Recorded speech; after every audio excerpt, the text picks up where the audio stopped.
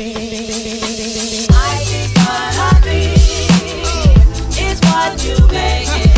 guys, welcome back to my channel.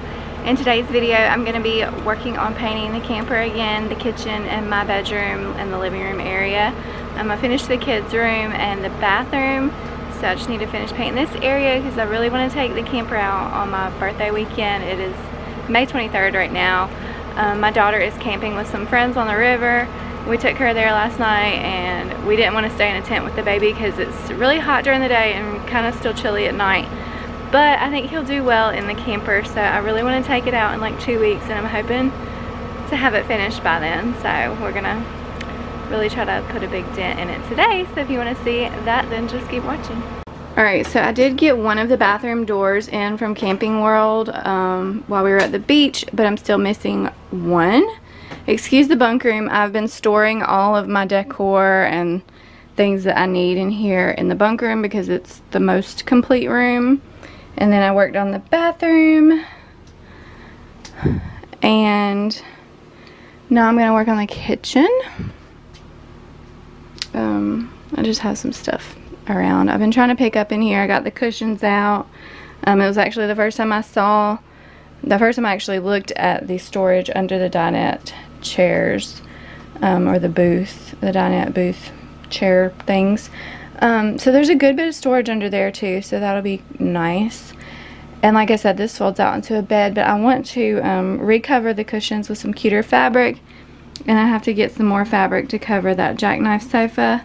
But I'm just going to work on, um, I have to wipe down everything and then I have to use the deglosser on everything. I need to sand all of the wood vinyl in here. I've got to peel off this um, border, which is going to be a pain in the butt. I can only imagine. Hopefully it'll come off easy, but we'll see.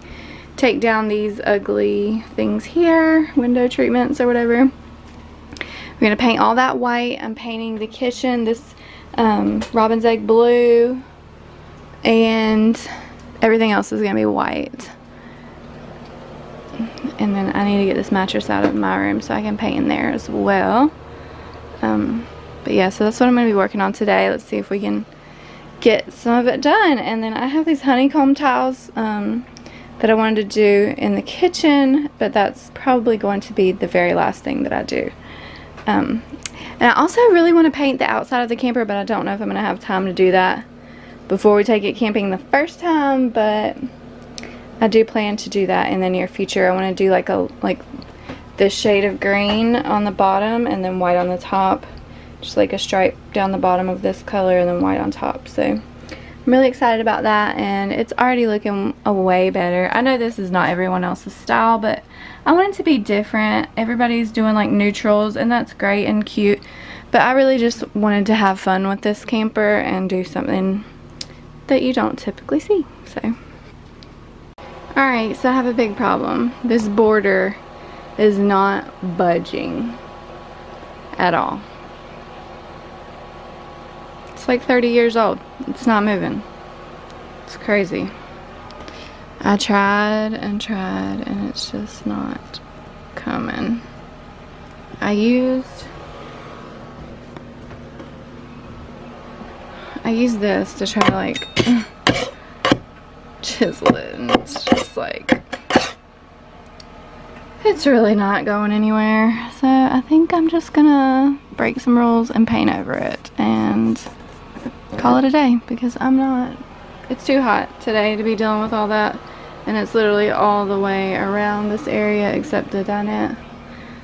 And yeah it's just not coming off. So I'm just gonna paint over it. I really don't care at this point. So I guess next I'm just gonna try to pull these get these guys off because they're hideous and um, start deglossing everything.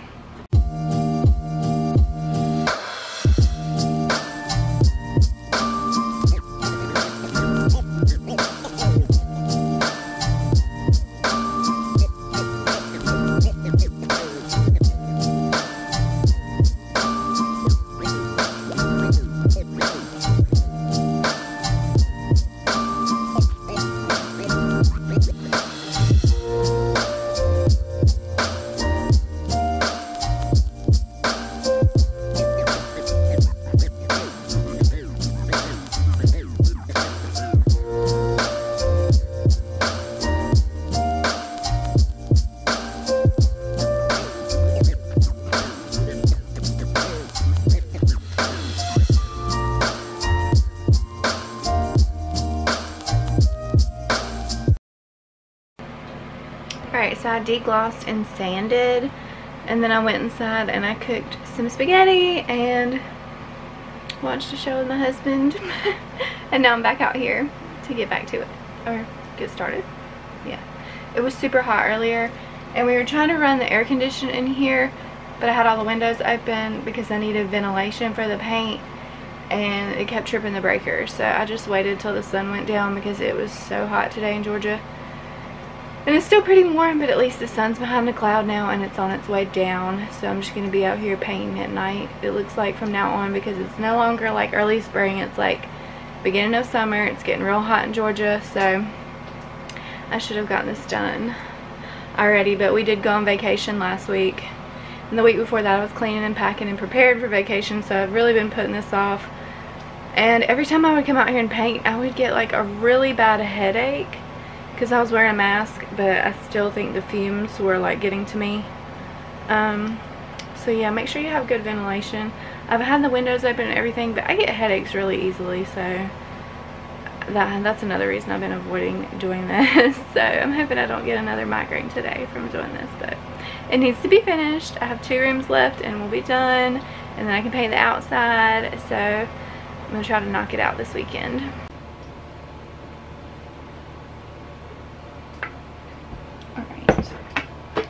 So Wes did go to Lowe's this morning and get me some new paintbrushes and a roller. So I'm going to try doing it with a roller this time.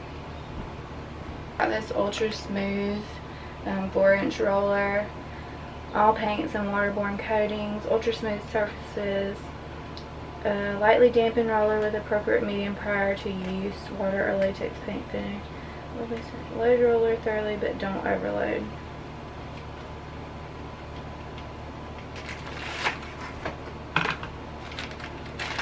Alright. Ooh, this is really soft. I haven't used one like this before, so I hope I like it. Alright. I did not tape anything off yet. I'm just going to work on the walls by the dinette first.